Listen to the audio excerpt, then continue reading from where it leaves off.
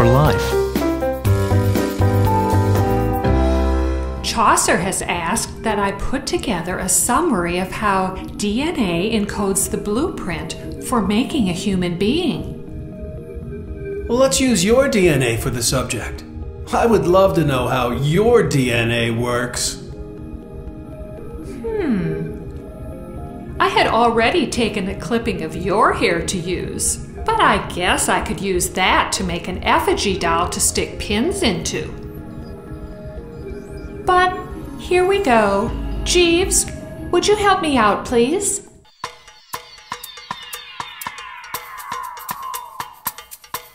The human body is a truly amazing machine.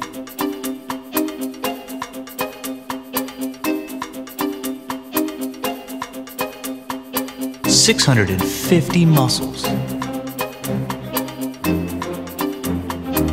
including a heart that can beat more than three billion times.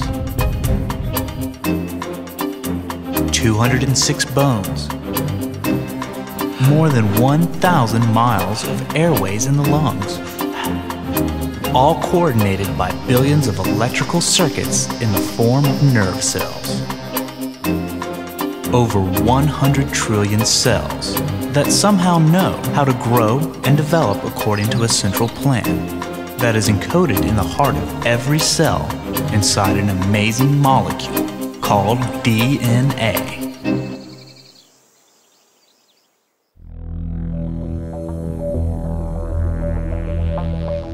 Today, we are living in an amazing era when science is accomplishing something we never would have believed that we could do. In fact, it has been said that this is the ultimate imaginable thing to look at our instruction book and understand what it is telling us.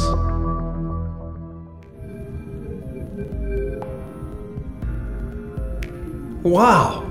That little strand with the tiny drops on it is an actual page from that instruction book? Yes, it is part of the blueprint for making a human being, and we can actually read it. There is no reason to expect that any creature made from tiny specks of inanimate matter should be able to develop the ability to understand itself. But we have. And we do. And as far as we know, we are the only creatures that can do this, that can ponder our place in the universe.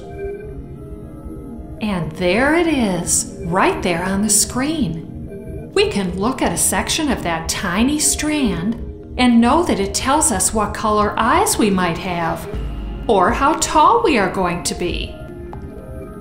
Wow!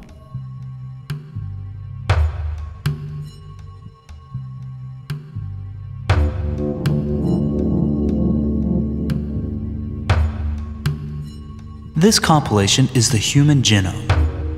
Three billion letters long, this is the instruction set for making a human being. But it is more than that, too.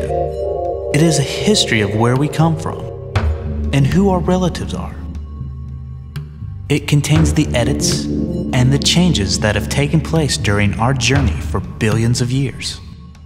The human genome is an amazing compendium, and as we are able to read it, a story is unfolding, written in a code of four letters that tells us who we really are.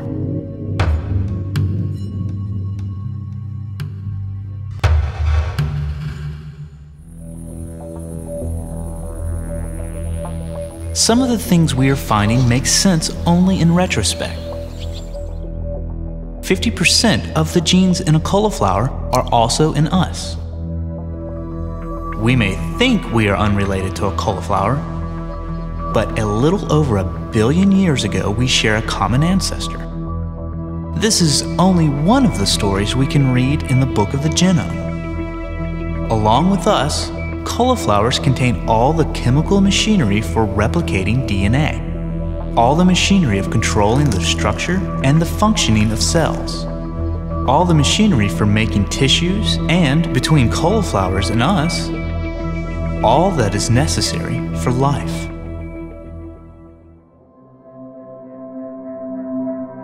As we examine the genomes of creatures closer and closer to our branch on the tree of life, we find their genomes are increasingly similar to our own. We may share 50% of a vegetable's genome and perhaps 75% of a reptile's genome, a plotline that dates back about 300 million years ago.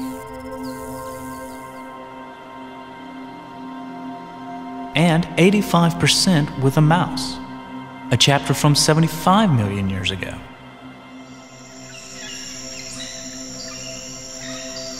And if we look at our closest living relatives, like the gorilla and the chimpanzee, you will find that we share 98% of our DNA, a page from just 6 or 7 million years ago. The genomes of all humans are 99% the same all the people in the world, regardless of height, weight, color, eyes, hair, and other features, are all different in only one part in 100 in their DNA.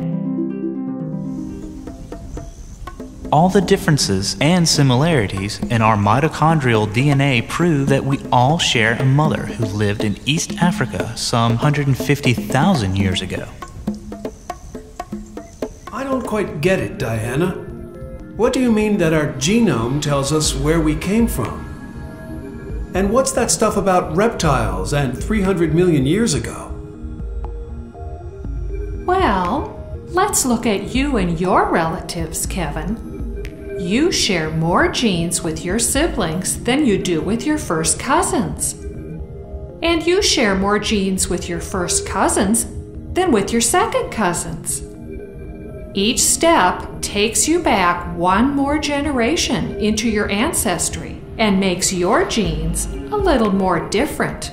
With a little work on your genome, we can estimate how long ago you and someone else shared an ancestor. Yes, that's pretty easy to understand.